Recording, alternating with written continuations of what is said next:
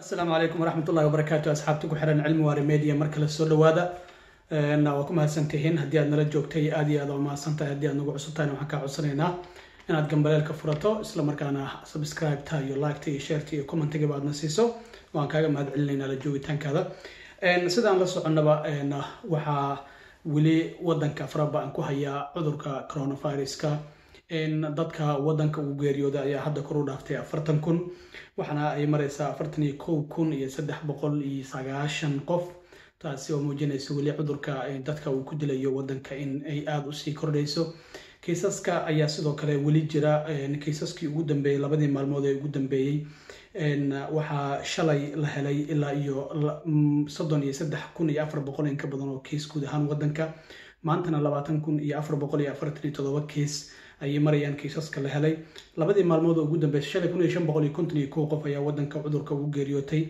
Maantana kun iyo siddeed boqol iyo konton iyo shan ayaa geeriyootay weli. Dad aada u fara badan ayaa cudurkan ugu geeriyoonaya guud ahaan wadanka gobolka new york gudoomiyaha gobolkaasi andrew com waxa uu sheegay in xaaladii ugu khatarsanayd gobolka hadda uu ka badbaaday oo meeshii ugu sarreysay dhimashada. Waxaana ilaa hadda gobolka new york ku geeriyooday in ka badan sagaal iyo toban kun oo qof taasi oo muujinaysa in ilaa kala bar ay tahay guud ahaan inta wadanka cudurkan uu geeriyootay in gobolka new york ay ku geeriyoodeen. Kiisaska ilaa hadda gobolkaasi laga helayna waxay kor u dhaafeen ilaa iyo laba boqol iyo labaatan iyo lix kun. Taasi oo weli gobolka new york uu yahay gobolka ugu daran dhibaatadu ay ka taagan tahay. Maalmahan waxaa socday muran ah oo ku aadan sidii wadanka dib la isugu furi lahaa u dhexeeya madaxweynaha iyo guddoomiyaasha gobollada sida aad la socoteen kiisaska wadanka guud ahaan ilaa hadda laga helay waa toddoba boqol afartan iyo lix kun saddex boqol toddobaatan iyo sagaal ilaa hal milyan ay ku sii dhadhawaanaysaa caalamka markaan eegana sidoo kale guud ahaan kiisaska ilaa iyo hadda caalamka iyaguna waxa ay kiisasku marayaan laba milyan saddex boqol siddeetan iyo laba kun iyo lixdan iyo afar. Dhimashada guud ahaan caalamkana boqol lixdan iyo shan kun lix boqol soddon iyo lix ayay maraysaa guud ahaan caalamka dadka cudurkan ugu geeriyooday sidoo kalena dadka ilaa hadda ka soo kabday cudurkan guud ahaan caalamka waa lix boqol iyo koob iyo toban kun iyo boqol iyo labaatan iyo saddex. Dadka soo kabanaya sidoo kale aaday u badan yihiin. Dalka maraykankana in ka badan toddobaatan kun ayaa cudurkan ka soo kabsatay oo markii uu ku dhacay kadib ka soo kabsaday. Waxaa jira sidoo kale in madaxweynaha uu shirkii jaraa-id uu galabta qabtay uu ku difaacay. Dadweynaha mudaharaadka sameynaya ee qaar ka mid a gobollada wadanka oo ay ka mid yihiin virginia michigan minnesota iyo indiana oo maanta ay ka mudaharaadeen dadweyne aad fara badan iyaga ka soo horjeeda go'aankii uu qaatay guddoomiyaha gobolka erig holcob oo sheegay in amarka ah in gobolka gurigaaga joog uu ku sii jiro ama lockdownka ilaa iyo kowda bisha may. Madaxweynaha ayaa waxa uu difaacay dadkaasi mudaharaadka sameynayay sida aan la socono maalmo ka hor ayuu gobollada virginia michigan iyo minnesota oo guddoomiyaashooda dhammaan republican ay yihiin.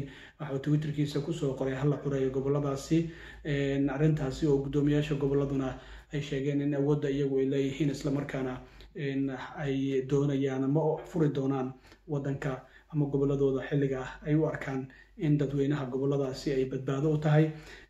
Minnesota dadka ku geeriyooda hadda waxay marayaan boqol soddon iyo afar ilaa hadda dadka ku geeriya saddex iyo toban qof a maanta wada gobolkaasi ugu geeriyootay cudurka kiisaska guud ahaan laga helayna sidoo kale way sii kordhayaan. Laba kun iyo saddex boqol iyo konton iyo lix ayay marayaan. Ilaa iyo bishii march markii kiiskii ugu hor lixdii bishii march lagu dhawaaqay kiiskii ugu horreeyey minnesota in laga helay. Sidoo kale indiana gobolkan aan joogo shan boqol lixdan iyo labo ayay dhimashada maraysaa guud ahaan kiisaska laga helayna ayay kor u dhaafeen. Ohio markaan eego afar boqol ayaa ilaa hadda dhimashada la sheegaya cudurkan. Koob iyo toban lix boqol dad ka badanna waa laga helay. Marka madaxweynaha ayaa waxaa muuqanaysa in xili wadanku uu ku jiro kala fogaanshaha dadweynaha. Haddana inuu difaacay dadka mudaharaadka sameynaya oo la arkay iyagoo badan calanka maraykanka lulayay.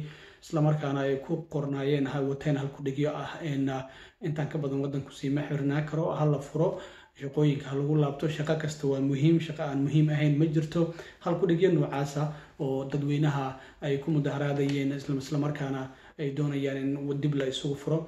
Waxay guddoomiyaasha gobollada weli ka cabanayaan in wood haddii gobollada wadanka dib la isugu furo ay yar yaryihiin uu weli yaryahay qalabka baaritaanka dadweynaha loogu sameyn karo.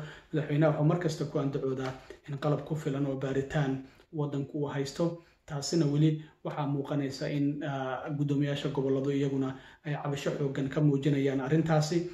Waxaana muuqanaysa sidoo kale in ay isku dayayaan sidii qaarkood ay sheegeen in kowda bisha soo socota qayb ahaan goboladaasi la furi doono. Sidaan la socono florida ayaa waxaa la furay laba maalin ka hor. Jacksonville xeebta ku taala iyadoo la arkay dadweyne aadu fara badan oo halkaas isugu yimid. Taasi oo weli khatar ku ah caafimaadka dadweynaha. Waxaana madaxweynaha uu mar kastaba ku adkaysanayaa inaysan macquul ahayn in guud ahaan dadka waddanka ku dhaqan la wada baaro. Taasi oo uu sheegay wax suuragal aysan ahayn oo lahaynin qalabka dadkaasi lagu wada baari karo. Laakiin haddana guddoomiyaasha goboladu iyaguna dhankooda waxa ay sheegayaan in weli khatarta cudurka ay jirto islamarkaana aysan xilligan munaasab ahayn in waddanka dhaqaalihiisa dib la isugu furo. Oo loo baahan yahay in si tartiib tartiib ah howlaha dib ay ugu soo laabtaan. Madaxweynaha sida aad la socotaanba wuxuu ku dhawaaqay saddex weji oo la doonayo in waddanka dib la isugu furo. Saddexdaasi weji ayaa waxaa la doonayaa qaabkii loo dhaqangelin lahaa iyadoo sidoo kalena arrintaasi guddoomiyaasha gobollada qaarkood ay muran ka keeneen. Waxaana hadda weli soconaya dadaalada ay dowladdu ku doonayso in waddanka dib la isugu furo marka ay bishan dhammaato laakiin haddana weli taxadar xoogan iyo foojignaan xoogan ayay qaar ka mida guddoomiyaasha goboladu ay muujinayaan iyadoo xisbiga ama kala qaybsanaanta labada xisbi ee republicanka iyo democratka sidoo kale ka dhex jirta ay ka dhex muuqanayso siyaasadeyntooda arrimaha la xiriira cudurkan coronaviruska. Waxaana xisbiyadu ay isku riixriixayaan sidii guddoomiyaasha republicanka iyo weliba democratka ay muuqdaan in dhanka republicanku madaxweynaha ay la safan yihiin.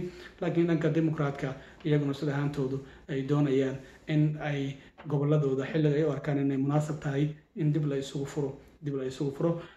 Inta badan marka la gaaro kowda bisha may oo bishan abril ay dhammaato soddonkeeda oo ah xilliga kama dambeysta ee dowladda federaalku ay u qabatay kala fogaanshaha dadweynaha ayaa haddana waxaa la filayaa in marka la gaaro kowda may la arki doono gobollada iyagu ku dhiirada in qayb ahaan ay dib isugu furaan socodka dadweynaha gaadiidka.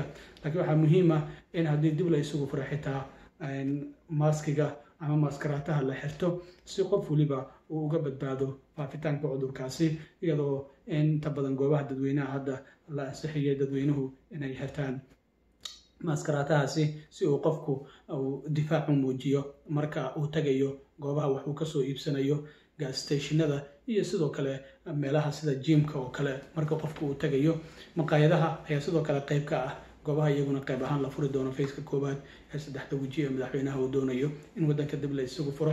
Weli muranku wuu jiraa madaxweynaha wuxuu ku adkaysanayaa in la gaaray xilligii waddanka dib la isugu furi lahaa laakiin weli guddoomiyaasha gobollada qaarkood taxadir dheeraad ah ayay muujinayaan oo waxay leeyihiin in lagu degdego ma wanaagsano. Waxyaabaha ka soo kordha arrimahaasi iyo sida marka ay bishan dhammaato ilaa iyo maalmaha soo socdana waxyaabaha iska bedela waynu arki doonaa waad la soo socodsiin doonaa haddii aad lidmo waad ku mahadsan tihiin subscribe-tiina iyo gambaleelka iyo laagta sharta iyo commentigaba. Haddii aad nagu cusub tahay fadlan waxaan kaa codsanaynaa inaad subscribe-ta iyo gambaleelka furato. Intaan mar kale arrimahan dib ugu kulmi doono gabi ahaantiinba waxaan idinka tegayaa sidaa iyo nabad gelyo